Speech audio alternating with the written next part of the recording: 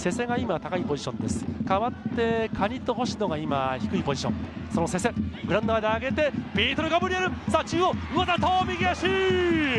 その後林だ林のゴール。2019年中部野人スタジアム。開幕戦は林正道。そしてこれが2015年以来4年ぶりのゴールだ。林正道4年ぶりの J ゴール。季初スタメンに応えました林正道です粘った後この後のヘッドを押し込んだ林正道が高木監督のスタメン起用に応える今季初ゴール4年ぶり